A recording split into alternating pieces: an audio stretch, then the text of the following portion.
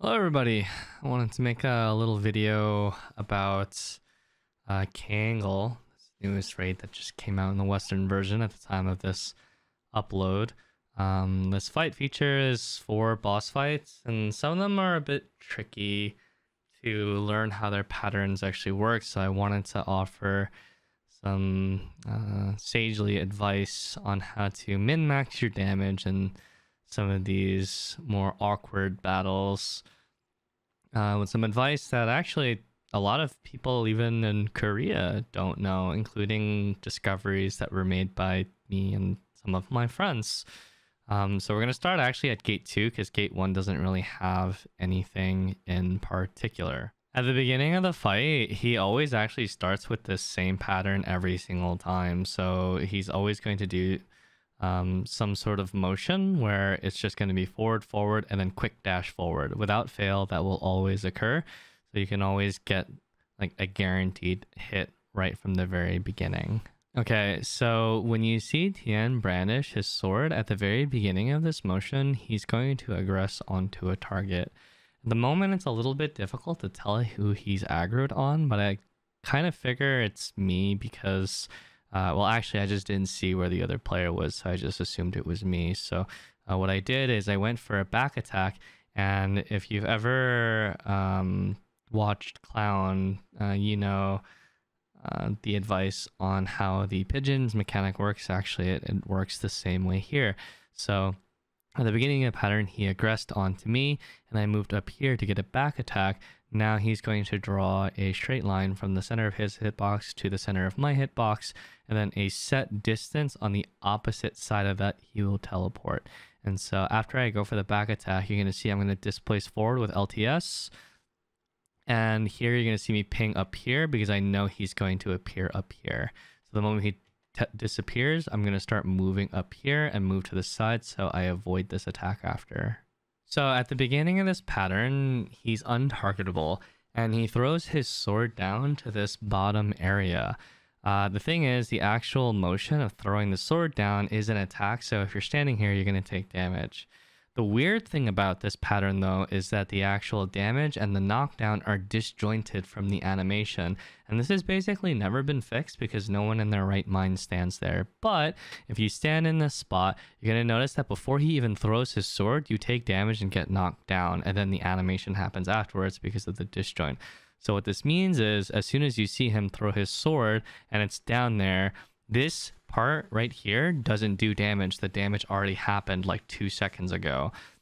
Meaning the moment he throws his sword down, it's safe to maneuver down here. Now, the moment he comes down, his animation, um, I'm sorry, his hitbox is not actually available yet. So if you try and launch an attack at him here, it won't actually hit him.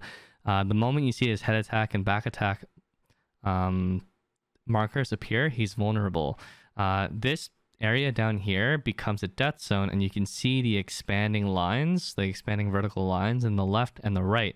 When they reach the edge, it becomes a death zone that does very high damage. So as long as you do your damage and move out before it reaches that point, uh, you'll be safe. So with Striker, this is probably the most stylish uh, one or one of the most stylish ones where you can actually move behind him here, charge an LTS at an angle where the left side of your LTS or right side if you're going from this side will hit him in his back attack position while you exit.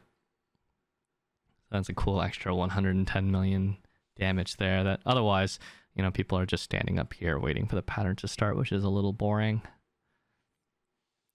Uh, an unrelated note, and it's more troll than it is real advice. If you stealth robe and you're the target of the spear, and you use the stealth robe right before he throws it, it'll actually adjust his target on the fly to a different player, and they'll usually not be prepared for that. So that's uh, troll advice, not real advice. Don't actually do it, or if you're gonna do it, just do it to your friend. You might not be friends afterwards, though. This attack is pretty cool, this kind of flipping attack that he does. Uh, if he does decide to do the second part of it, where he flips the other side again, standing right in front of him will actually make you... Uh, you won't get hit by anything because he'll jump over you. Kind of like that.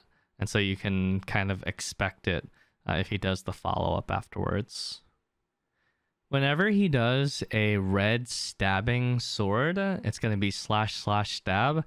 If it's red, I would strongly recommend that a tankier player or a support gets stabbed by it because he does a follow up attack afterwards that keeps him still for a pretty long time and it's a great damage window.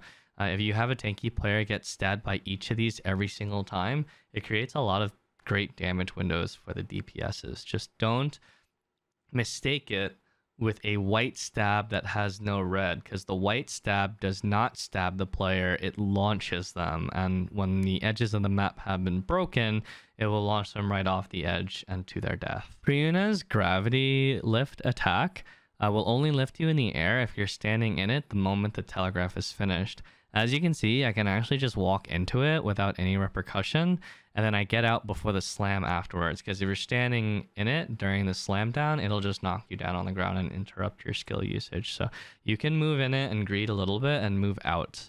Whenever Prunya teleports in gate 3, she only has two types of teleports.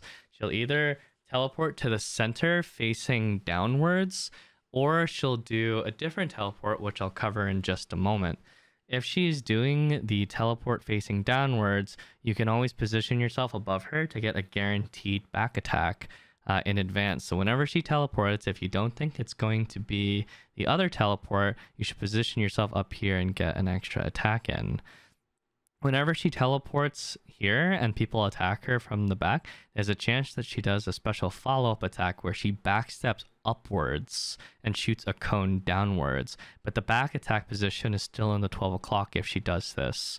So if you're back attacking, always be prepared for her to do that back step. And if she does, then you get an even bigger damage window.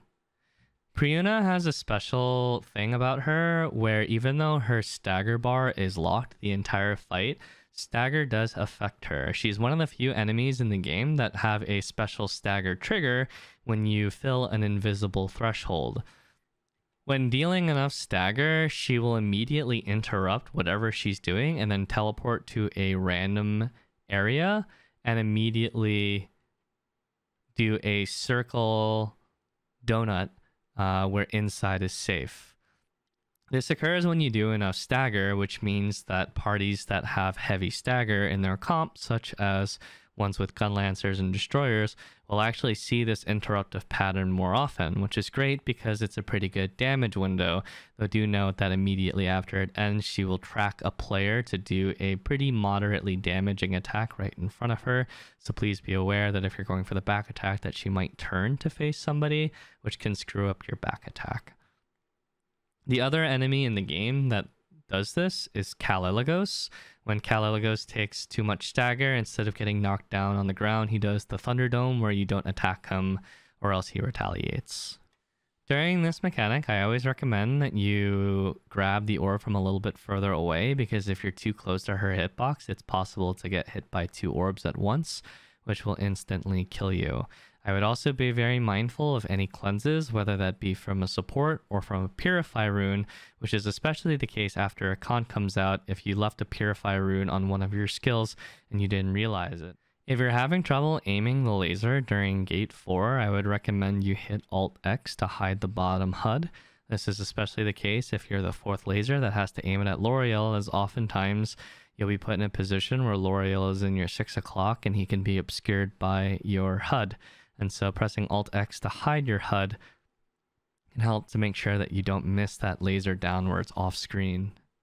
Whenever he does this forward motion where he kind of flies forward and then shoots a laser, there's two lasers that he can draw with this. So you're going to see a straight line forward. That means it's going to make an asterisk shape or a star, meaning directly behind him is dangerous. And so we should go slightly off kilter to the left or right in order to avoid that. He can also make a diamond shape, and if he does make the diamond shape, then we'll do a donut safe around him instead. So paying attention to that is a good way of knowing how to pre-position yourself in advance to get an extra attack off.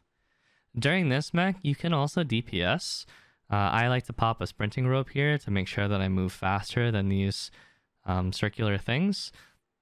Just make sure not to get caught by it If anybody gets hit by that pull afterwards, he'll do a yank in afterwards. If nobody gets hit by the cone, then there's no follow up attack. This mechanic is probably the one that gets people the most. Uh, these shadows are the same as the one that you experience at the 100 line mechanic, but at the same time, the boss is doing the mirror mech where he targets one player and then does a cone shaped pull on them. Uh, this will yank everybody, and in some cases, it does a super yank, which will drag them much further than usual. These shadows are the same shape, um, and each clock position has its own. So there's one at 9 o'clock, 11, 12, 1, 3, 5, 6, and 7. The shapes are always the same in each of the positions, and some of them are easier than others. This one's the easiest because you can actually just run against the left side of the wall here and you'll always be safe even if he super pulls you as it will not be able to drag you out of the shadow altogether. The 6 o'clock shadow is the most dangerous one as the actual area that you have uh, is very narrow and easy to get pulled out of. There is a trick that was discovered by me and Lustboy, and by Lustboy, uh, by me and Lustboy, I actually just mean Lustboy. He's the one who figured out the timing for this, um, and we never posted it on the Korean forums. Uh, but basically, when you're being pulled by the mirror, you're gonna see a purple text on your character, like this. If you use any form of displacement skill, as soon as this purple text goes away, it will override the pull altogether. So a displacement skill is anything that moves you or gives you control over your movement while using it. Uh, skills that are animation locked are not good for this because he will actually pull you while you're animation locked, even if you're not supposed to be moved. Even an artillerist in their siege form will get dragged even though they're not supposed to be movable. Uh, channeling your awakening, like Berserker's Fury, will also result you in getting dragged. So your skill has to displace you. For example, the bullet rain skill by um, gunslingers or enforced execution by deadeyes, uh, or really just your spacebar. The spacebar works for basically everybody here. If you use it just as that purple text is going away, uh, it will not drag you even a little bit. You will not be so much as nudge. So just wait for the purple text to go away, space bar in, and boom, not a single nudge. So it's just a way to stupid proof never ever being dragged ever. You can DPS during this pattern. I mean, he's gonna die here basically instantly. Uh, but all you need to know is that the red uh, telegraphs after the first one, these red donuts, do not knock you down. These yellow circles do knock you down if they explode on you. So you can paralysis super armor uh, through these donuts. And the yellow circles are generated on every other donut. Uh, lastly, if you do know that you're the aggressed target, um, so you could actually see that uh, the target for this mechanic is actually the striker. The way that I could tell is right before he decided to leave, his character or his model turned to face the striker. So see the mechanic is about to start. See his head attack position, swivels over and targets on the striker. Remember what I mentioned that this mech is actually just two mechs overlapped on top of each other. And so uh, it is the same shadow as the 100 line. So if the person who has the mirror aggroed on them faces the mirror away from the shadow position, the other three players will not actually get dragged at all since they're out of the AoE. Now, of course, if you try and face the cone away from the shadow position, uh, that would mean that you would incinerate to death in the sunlight. Uh, however, that's what time stops are for. And for people that just want to make sure they get the clear and they're uh, not worried about pumping with atropine, well, if you're bringing a time stop and you happen to be the aggro target, you can selflessly uh, move the aggro of the cone away from your teammates so they don't have to deal with the pull at all and they can just safely stand in the shadow.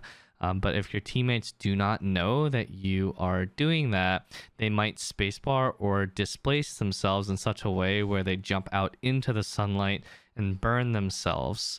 Uh, so sometimes doing that can actually cause your teammates to accidentally kill themselves. Um, so especially if you're in voice comms, you should be mindful of letting them know uh, that you're facing the shadow away. That's about all I have for advanced tips and tricks for you for this encounter. I hope some of this information was useful to you.